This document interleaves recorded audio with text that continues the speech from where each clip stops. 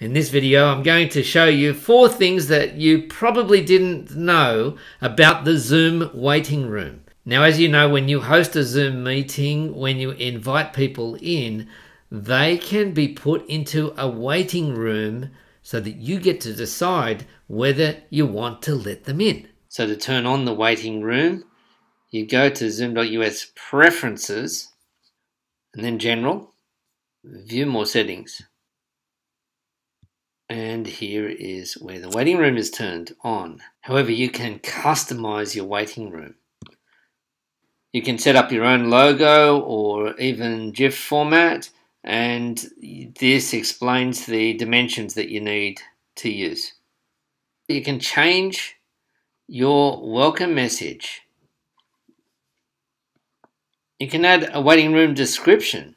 Now you want to make this short but welcoming because people won't be in the waiting room for too long, hopefully.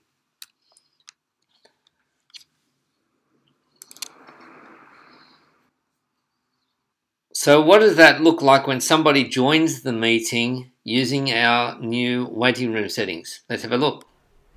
I'll just start a meeting as the host. Now I'm going to give my mobile phone to a secret guest who's going to join the meeting. So that's the message that I get as the host of the meeting. What does it look like on the mobile phone?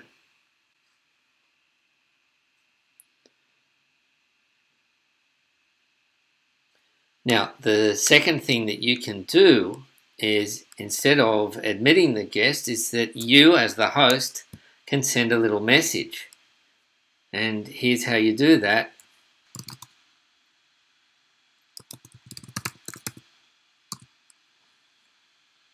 And here's how that will look on the mobile phone.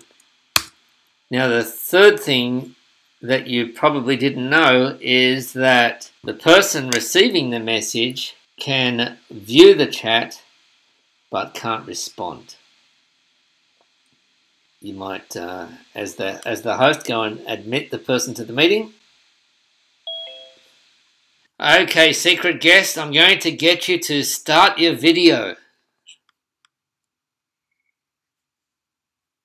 Oh, who is that? And now the fourth thing that you probably didn't know is that you can send your guest back into the waiting room. Bye bye, secret guest. So there you are. There are four things about the Zoom waiting room that can make it a better experience for you and for your guests. Hey, if you found this helpful, hit that like button so that the algorithm can put it in front of other people who might also like it.